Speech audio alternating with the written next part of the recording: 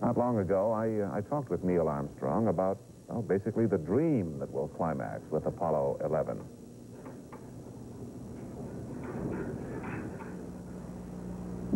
Uh, you're supposed to be, and you are a pilot, not uh, a philosopher, but uh, you are going to be the first man to land on the moon. You must have thought well beyond the technical, purely scientific aspects of this mission. So I want to ask you really uh, kind of an impossible question, but you're the man to give the answers.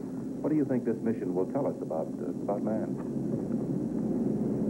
If we are successfully able to execute a touchdown and return, it's going to give us an unmeasurable amount of confidence. I think that's probably the greatest result of the flight. It's going to assure those, those people who have been spending uh, long hours late at night for many years in the computer labs across the street and in the simulations uh, over in the other building and, and the program offices that uh, the, the almost staggering technical job that they tackled is in fact possible for, for man to conquer. And uh, given that confidence, uh, we will then be in a much better position to accurately judge what we should tackle in the future.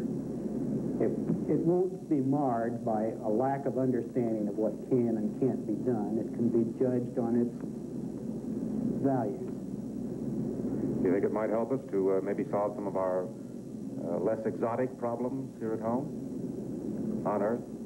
Well, I certainly hope that uh, that we would take the the more successful uh, approaches that have been used in this kind of a uh, program and find ways to apply those approaches to, to other problems.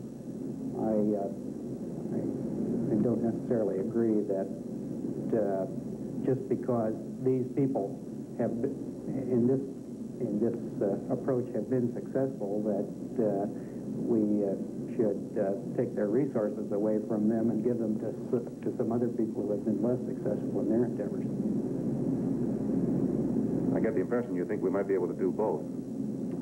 Well, I certainly think we can. We're a great country. Uh, we have a lot of abilities, and uh, when we direct our efforts uh, toward an understood goal, we, uh, we usually solve the problem. You know, I think I was wrong in putting that question to him in the, the way I phrased it. Uh, he is a philosopher, too, as well as a pilot. He's a young man who uh, means what he says and says what he means. We're back in mission control now to see if we can't get some more communication.